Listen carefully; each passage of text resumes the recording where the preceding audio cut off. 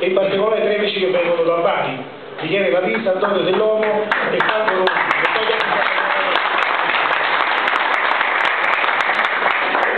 Allora, adesso entriamo un po' nel, nello specifico. Diciamo che sarà importante in questo momento passare la parola a due persone che interpretano un po' lo stile di questa, di questa aggregazione.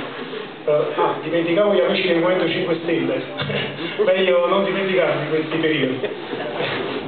Allora, io passo la parola a Mario Picarello.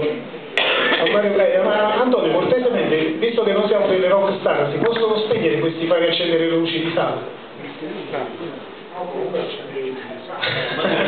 No, no, perché allora, Mario Beccarello, leader eh, del movimento Siamo Tutti Brigati, per motivare un po' eh, diciamo, quelle che sono le condizioni che hanno, che hanno determinato questa adesione. Vi saluto tutti, vi ringrazio per aver compartecipato così come stiamo facendo noi eh, pari tra i pari questo associazionismo che ha un concetto basilare quello di difendere i diritti del popolo napoletano ma meridionale, come diceva Enzo poc'anzi, fortemente insultato tutti i giorni, da troppi anni, sul vivere comune e sul vivere quotidiano. Quello dell'assicurazione è uno tra i tanti temi che ci penalizzano, ma è molto importante perché è un obbligo di legge. Gli altri diritti possono essere sottratti a tutti noi, però è anche una scelta individuale che noi ci poniamo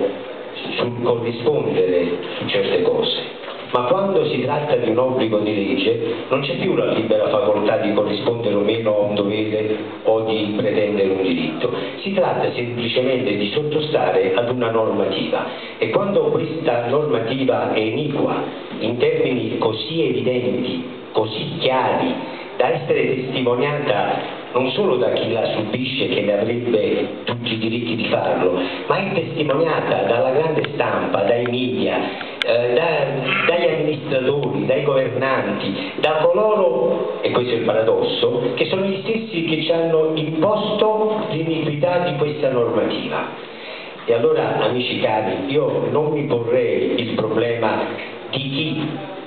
sta usando la voce, di chi sta cercando di mettere insieme le proprie risorse, per quanto minime possano essere di fronte a un'ingiuria così grande e così forte, perché le ingiurie portate dallo Stato sono delle ingiurie troppo grandi per il semplice cittadino, forse lo sono anche per l'associazionismo, perché lo Stato è forte e quando lo Stato impone non c'è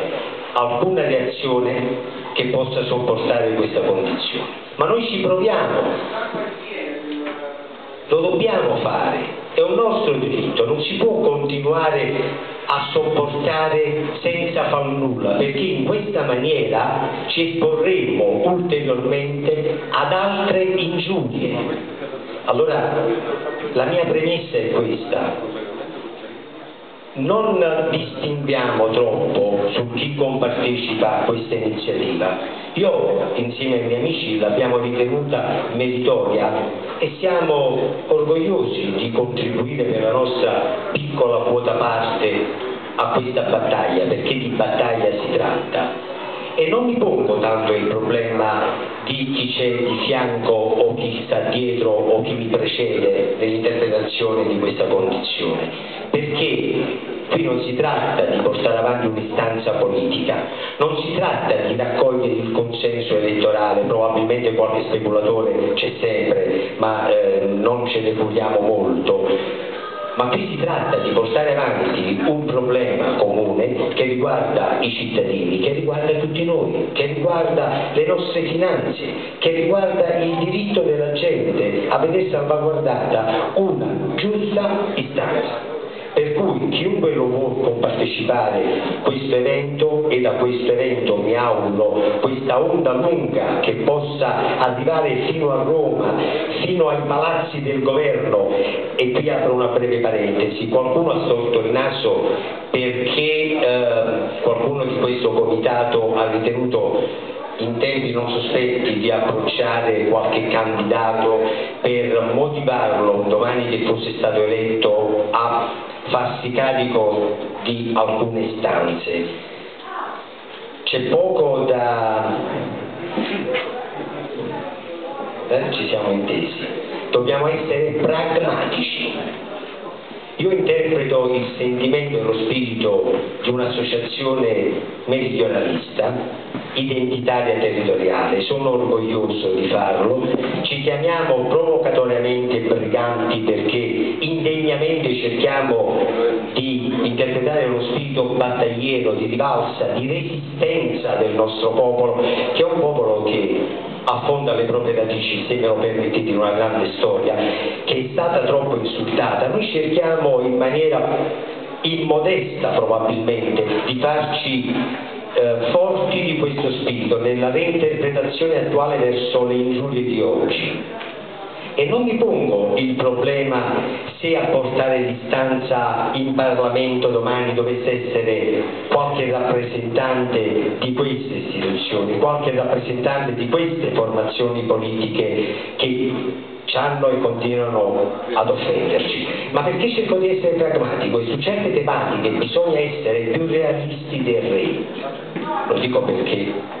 c'è qualche amico che ha un sentimento particolare per questo termine in sala. Dobbiamo essere più realisti del re perché altrimenti se non sviluppiamo delle proposte e non ci sono degli interlocutori e non c'è qualcuno che le porti